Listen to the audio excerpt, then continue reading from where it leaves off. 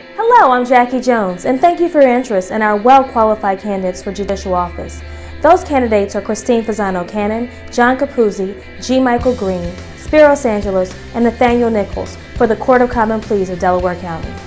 As the only candidates to have received the endorsement of the Fraternal Order of Police and rating of well qualified from the Delaware County Bar Association, they will be the right judges to continue the legacy of a fair and balanced legal system in Delaware County.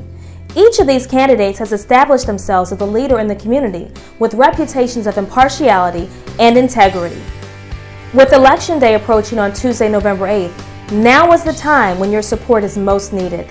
That support can be as simple as talking to your family and friends about why voting for qualified judges matters, and then making sure they vote. Also, by liking and sharing this video, you're adding your voice to those who believe in honest, independent, and experienced judges for Delaware County.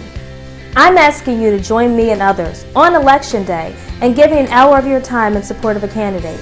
Please send them a message on Facebook or visit the volunteer page of the team website. I'm Jacquie Jones and I thank you for considering the facts and supporting the well qualified judges for Delaware County.